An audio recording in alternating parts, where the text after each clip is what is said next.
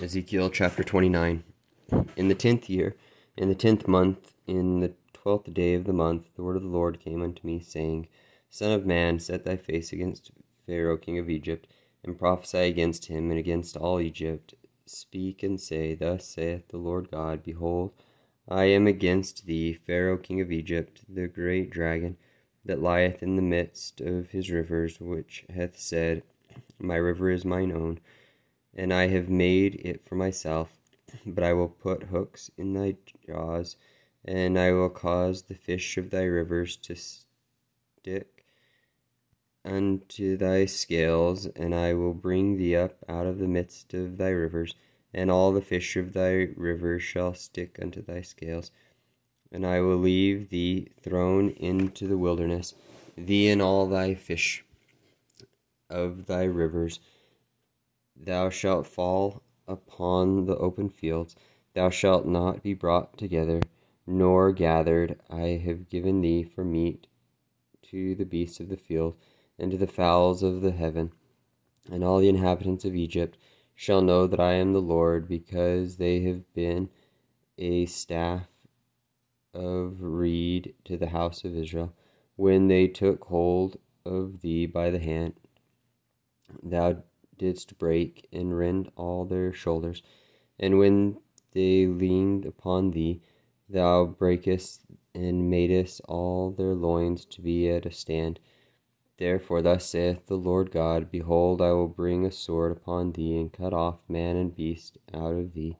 And the land of Egypt shall be desolate and waste, and they shall know that I am the Lord, because he hath said, The river is mine, and I have made it Behold, therefore, I am against thee and against thy rivers, and I will make the land of Egypt utterly waste and desolate, from the tower of Syene even to the border of Ethiopia.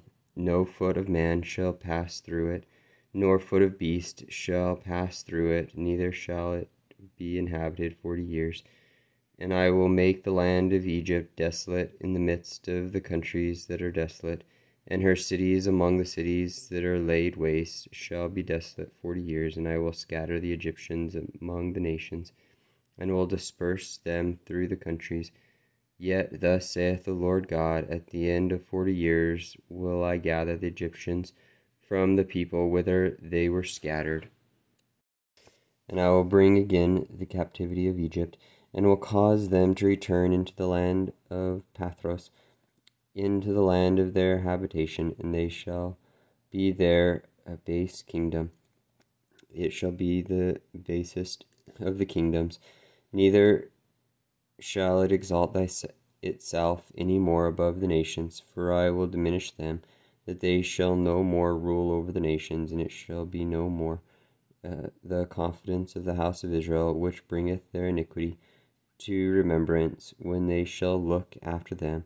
But they shall know that I, I am the Lord God. And it came to pass in the seventh and twentieth year, in the first month, in the first day of the month, the word of the Lord came unto me, saying, Son of man, Nebuchadnezzar, king of Babylon, caused his army to serve a great service against Tyrus.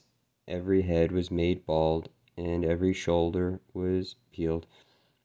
Yet had he no wages, nor his army for Tyrus for the service that he had served against it. Therefore, thus saith the Lord God Behold, I will give the land of Egypt unto Nebuchadnezzar, king of Babylon, and he shall take her multitude, and take her spoil, and take her prey, and it shall be the wages for his army I have given him the land of Egypt for his labor wherewith he served against it, because they wrought for me, saith the Lord God. In that day will I cause the horn of the house of Israel to bud forth, and I will give thee the opening of the mouth in the midst of them, and they shall know that I am the Lord.